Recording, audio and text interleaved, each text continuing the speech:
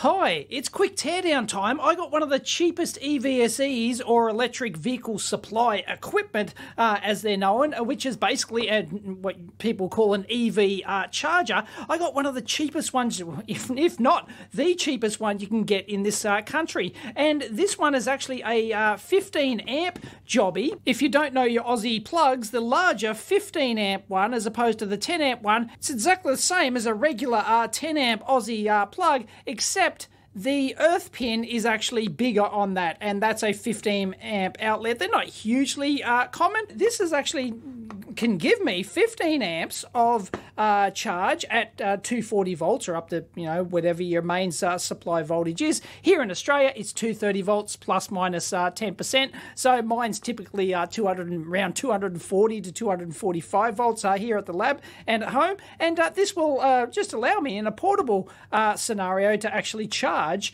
quicker if I've got a 15 amp outlet. But anyway, um, this one's about 150 Yankee bucks, and it comes from a company called MIDA. And it turns out that MIDA Power are actually uh, like a quite a big maker, it seems, of uh, EV charging equipment. And that's all they do. They even make like faster CCS uh, DC chargers. Um, yeah, they're, you know, it's not just some company uh, slapping together um, an EV charger. So I thought we'd do a quick teardown and uh, take a look at this. And it is actually available in a up to a 16 amp uh, version, but it depends on which country you're in. This is the um, official Australian certified uh, one. Um, meets you know all the Aussie uh, standards and everything. So this is limited to uh, 15 ampere, but you can actually select with the button on the front 6, 8, 10 uh, amps or 15 amp uh, charge current. I don't know why you'd want to go lower, but you know if you suck in some uh, power from like solar and you need to power some other stuff or something, yeah, maybe. Anyway, it does have the Type 2 plug on the other end, and uh, the cable, what do we got here? Looks uh, like it's TUV uh, approved, 2.5 millimeter square, which is what you'd want for a 15 amps plus the uh, 0.5 square millimeter uh, that'd be for the uh, control. 450 750 volt um, Chengzhou Pingdo electron code. Anyway it looks like and feels like a decent quality bit of kit, especially for the money. This is only 150 Yankee bucks, bare rock bottom price for an EVSE charger. Anyway, let's tear it down. I think we've got some screws here. Let's check out the build quality. So I've done a video on my uh, Zappi charger, and in that, um, I've demoed and explained how EV chargers work. This is not a charger, okay? There's no active circuitry inside here that uh, charges the car. The charger's actually inside your electric car, at least for the uh, AC charging. For the really uh, high power uh, CCS uh, DC chargers, no, they charge directly into the battery pack, and that's why they have to be hugely uh, complex and expensive things that you install at you know, a service station. But for AC chargers like this one, and one's up to like 7 kilowatts or whatever, or it could be even uh, 22 kilowatts depending on whether it's a single or three uh, phase. Uh, my 2020 Ioniq EV is only capable of single phase charging, so it'll only do up to uh, 7 kilowatts or so, and that's what my Zappi charger does at home. But the AC chargers, um, all, all that the EVSE here does, even though we call it a charger box, is all it does is actually switch through. It's just got a big relay in there that switches through the AC, and then it's got a little micro in there which just uh, sends out a PWM signal to the car to tell it what charge current is available, and then the char and then the car will actually regulate that. So right off the bat here, oh, I'm seeing metal threaded inserts. That's very nice. Oh, oh geez, that looks nice. Really liking the look of that. Look at those current transformers in there. That's really neat, just right off the bat. Loving the crimped, um, and yeah, they got a shake-proof washer on the bottom of those. I love the interface on that. This is really good. It's got an O-ring uh, seal around there for some weather uh, proofing, and that goes into the top board, which just has a uh, micro, and that's there's just one button on the top, and the well, that'll be the LCD uh, driver. We'll power it up at the end of this, and I'll um, show you. But oh, what's going on? What's this over? Oh, that's just a lead, um, yeah, lead bar graph. It does like, you know, earth leakage uh, detection and thermal overload protection and stuff like that. But basically, it has um, a big relay switching in here, and all it does is essentially, if the conditions are right and it detects that it's plugged into the car and uh, it sends out a PWM signal, to the car. The car will then uh, know which or what power levels is available. Then uh, the car will only take that amount. But basically, all it does is switch um, the active and neutral. It'll be switching both uh, just through, and that's basically it. And the car will charge the uh, EV battery with uh, its own built-in charger. So this thing is just a very smart uh, relay with some, um, you know, safety features and some PWM stuff. But isn't that layout? Very, very nice. I'm impressed with that. We can easily get in there, measure stuff. It's repairable. That'd be the uh, PWM uh, control wire going over to the uh, car. Looks like it's got another Phoenix connector under there, but that's not going anywhere. So maybe there's another in interface model or something. Um, yeah, it looks very well clamped down here. I'm just liking the build quality of that. That looks absolutely first class. And you've got to remember, this is like bottom of the line pricing too. Like you can pay two to three times the price of this. Small touches here. They've just put some Silastic down for whatever that is on there. Oh, it's just a cap. I see it's labeled C. Yeah, then we've just got, is that a current transformer? Is that like a Hall effect uh, jobby in there? But uh, anyway, yeah, that'd be measuring, that looks like it's measuring the active. So this relay here would be switching the active like that, and that'd be the active going over there. And then this relay here would be switching the neutral, which is the blue one, you know, colours. Um, here, here in Australia, we have brown for active and blue for neutral and green for earth. So that'd be measuring the uh, charge current. And then this one here would be measuring uh, the imbalance between active and neutral. So this would be like an earth leakage circuit breaker type thing. Oh, I had that back to front. This is actually the output here and this is the input. I should flip it around. All right, so we've got mains input over here, okay? So basically, if the current flowing through the active like this out here into the right out here into the car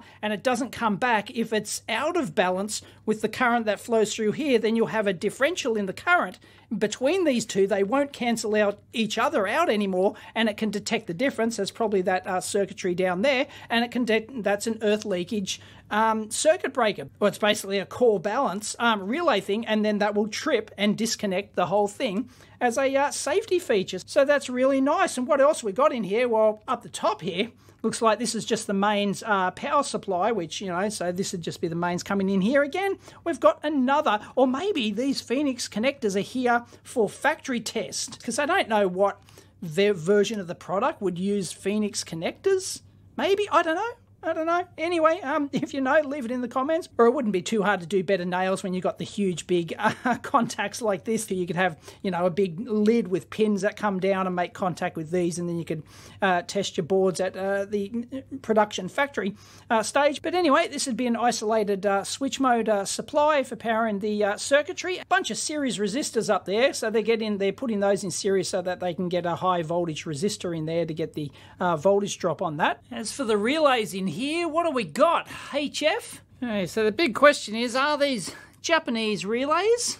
Not Japanese relays, unfortunately. Uh, these are Hongfa uh, brand, but they are uh, serious uh, relays for this sort of application uh, and also certified as well. So these are actually 50 amp relays. So um, they might actually use this same board in, uh, they might, I think they make a 32 amp version of variant of this. Um, it looks slightly different, but you know maybe they use the same relays in that as well. They certainly could. And these are actually latch-in relays, so they don't need coil power to keep them in the latched state. But I don't know why you'd use a latch-in relay for this sort of uh, thing. It's not like the uh, coil current consumption is an issue. And really, I would uh, prefer that, like, if it lost uh, power, I don't want it to be latched in a certain state. I'd rather see it like like normally open and then it has to require the active electronics to then keep it energized and switched on. And the input is fused as you'd expect. You can see that little SMD jobby down there. That's for the uh, main switch mode from the mains input uh, side. Nice. Anyway, interestingly, there is an NTC uh, thermistor temperature sensor input there. I mean, the micro's probably got a uh, temperature sensor in it as well, because I can't imagine that it's not measuring the internal temperature in a sealed enclosure design like this? My guess would be that uh, given the proximity of this thing, they would actually have in the higher amp models, but not in this one, they would actually have a thermistor measuring the uh, temperature inside the mains uh, plug because when you start talking 32 amps, you start talking, you know, um, serious like 15 amps is like meh, like, you know, I, I wouldn't bother. That's why they haven't got it uh, fitted in here. But uh, yeah, it can become a problem. Um, you know, you get dodgy connections on your uh, mains input plug and that can overheat and that can ruin your day. So yeah, uh, you would want to add a thermistor in there and then they would use um, a non-standard mains cable and they'd have like an extra uh, pair going up there to the thermistor and then that would just plug in there. And there doesn't seem to be another input there for like any sort of, you know, moisture ingress uh, sensor because uh, like this is a portable one so you might use these like out in the rain. Backside of the board, only a single sided load and uh, they've got some extra uh, current carrying capacity by uh, removing the solder mask and just leaving the solder plate on there, but um, yeah, that's exactly what I expected. Nice spacing, everything's hunky dory. Nice solder joints on there too. It's all looking pretty schmick. All right, let's just go briefly through the PCB. Uh, down the bottom here, this is actually interesting. This is an ST micro jobby, so there's tons of like Asian alternatives, but they're using ST one, a Viper 27. Why can't all chips be given decent names like Viper 27? I love it instead of like LM12345. Come on, give me anyway. It's an offline uh, high voltage uh, converter here, so exactly what you expect. It's just an isolated offline converter, um, optocoupler feedback that's in there somewhere, but um, yeah, plain vanilla stuff. I just a bit surprised that they used an ST part there. I didn't look at what brand caps they're using on the output here, but yeah, so you've got your mains input uh, here, you've got your uh, common mode choke, you've got some um, X and Y class uh, caps here by the look of it, and the um, just the offline uh, converter, and uh, there's your um, secondary. So I'll flip to the back side of the board, which is like you're looking through the board, so I've flipped it and oriented, so we'll see like the output down here like this, and if we flip over, the, you can see that there it is there. There's the secondary output there, and you can see that that powers all the stuff along the top side here. So that includes this chip we'll take a look at, this one we'll take a look at, and this one here. This one, obviously, it's right near the PWM output uh, here. It uh, would control the relays as well. Can see a couple of uh, back EMF diodes in there, can we? Um, this one here is obviously to do with the current uh, sense here, the core balance uh, relay like this. And this one over here, I thought was just like a driver going over to like the LC, like a shift register or something, but no,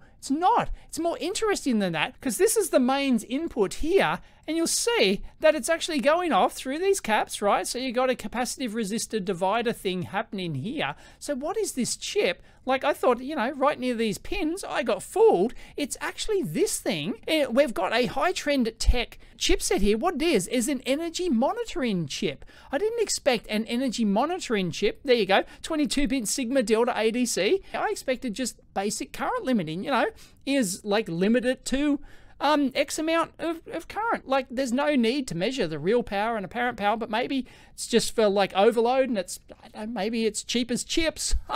I'm here all week. This one over here um, can measure the current. That's doing the uh, current measurement, so I don't know how that's getting back over to here like this. Ah, there you go. There's the uh, current transformer there, or the Hall effect uh, sensor, and that's going, these traces going back over there. So it is actually measuring the current and the voltage. So it can actually measure the real power consumption, real and apparent power consumption of this thing. Oh. So according to the manual, comprehensive as it is, um, it seems to only have a voltage and current display. It doesn't have a power display, let alone a kilowatt hour, like an energy uh, display to tell you how much accumulated energy is put into your car. And this one in here is exactly what you'd expect. This is uh, the chip that connects to the um, Hall effect current uh, sensor thing here. I don't know what it is, um, but that's an FM2147. And all this circuitry will no doubt match the application node over here this is a Fudan Microelectronics Group Company Limited, and this is a very specific uh, earth leakage monitoring chip. It's designed for exactly this application here, and uh,